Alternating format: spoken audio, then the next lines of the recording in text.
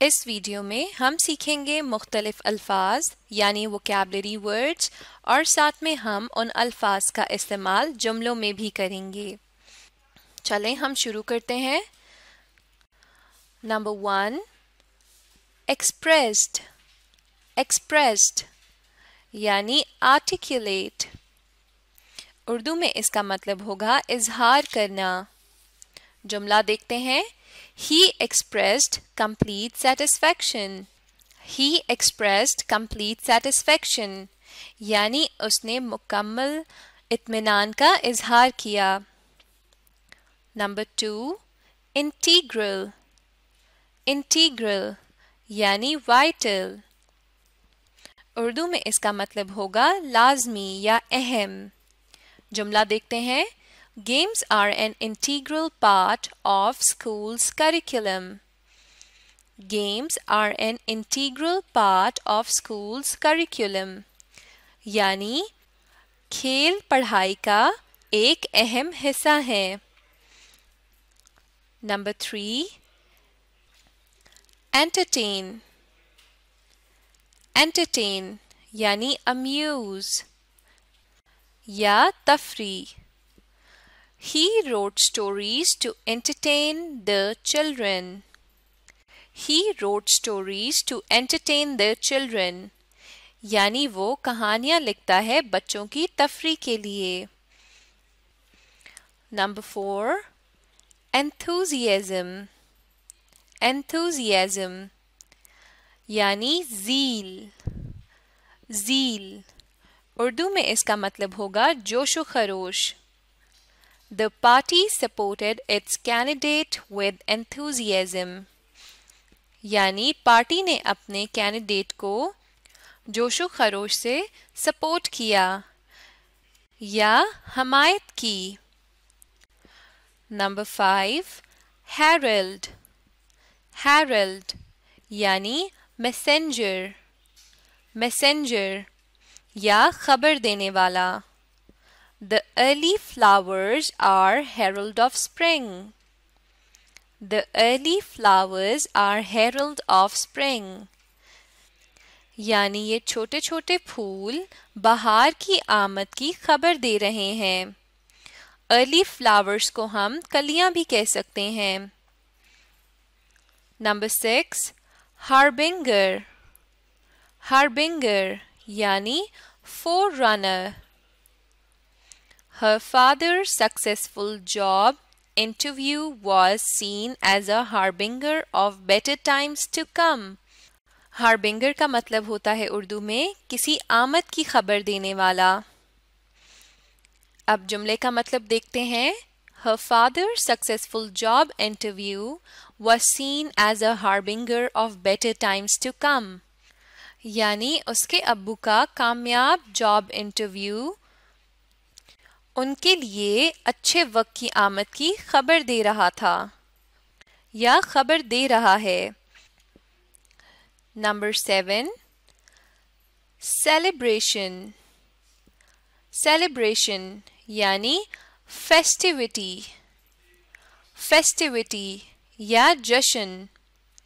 The family gathered for Eid celebrations The family gathered for Eid celebration.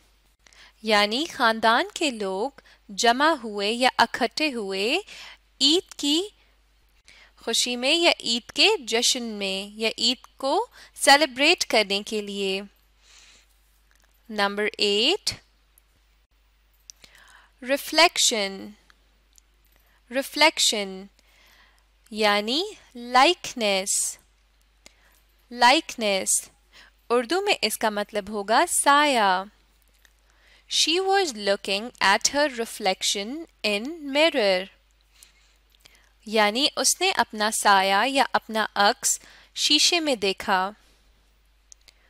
Number nine fluttering fluttering इसका मतलब है flapping the wings quickly flapping the wings quickly यानी परों को तेज़ी में हिलाना The bird was fluttering its wings. The bird was fluttering its wings. यानी परिंदा अपने परों को हिला रहा था नंबर टेन ग्ली ग्ली यानी जॉय या हैप्पीनेस उर्दू में इसका मतलब होगा खुशी। They were dancing with glee they were dancing with glee यानी वो खुशी से नाच रहे थे। Number eleven host host in large number यानी तादाद में ज़्यादा होना। We have to cope with host of difficulties यानी हमें बहुत सी तकलीफ़ का सामना करना पड़ता है। या बहुत सी तकलीफ़ का तकलीफ़ का सामना करना पड़ा। नंबर ट्वेल्व जॉकंड जॉकंड यानी हैप्पी या खुश होना। Old friends were engaged in jocund teasing. Old friends were engaged in jocund teasing. यानी पुराने दोस्त खुशी में एक दूसरे को छेड़ रहे थे नंबर थर्टीन ट्विंकल ट्विंकल इसका मतलब है शाइन रिपीटेडली शाइन रिपीटेडली यानी टिमटिमाना, या चमकना बार बार चमकना। Stars twinkle in the night sky stars twinkle in the night sky यानी तारे रात को आसमान पे चमक रहे थे, या टिमटिमा रहे थे। नंबर फोर्टीन पेंसिव पेंसिव यानी thoughtful thoughtful. Rainy days often put her in a pensive mood. अब यहाँ पर पेंसिव का उर्दू में मतलब होगा गौर फ़िक्र करना या फिक्रमंद होना rainy days often put her in a pensive mood यानी बरसात के दिन उसे अक्सर फिक्रमंद कर देते हैं नंबर फिफ्टीन सॉलिट्यूड सॉलिट्यूड यानी लोनलीनेस लोनलीनेस जुमला देखते हैं। He enjoyed the peace and solitude of words solitude का मतलब है अकेलापन या अकेला होना। He enjoyed the peace and solitude of words अब इस जुमले का मतलब है कि वो जंगल के, सकून और अकेलेपन को इंजॉय कर रहा था या लुत्फ अंदोज हो रहा था नंबर सिक्सटीन स्ट्रेच्ड स्ट्रेच्ड यानी स्कैटर्ड स्कैटर्ड इसका मतलब फैलाना भी होगा और लंबा और चौड़ा भी हम कह सकते हैं। जुमला देखते हैं। She stretched the canvas over a wooden frame She stretched the canvas over a wooden frame. Canvas कपड़े की एक किस्म होती है। अब इस जुमले का मतलब है कि उसने लकड़ी के फ्रेम पे या लकड़ी के तख्ते पे कपड़े को फैला दिया।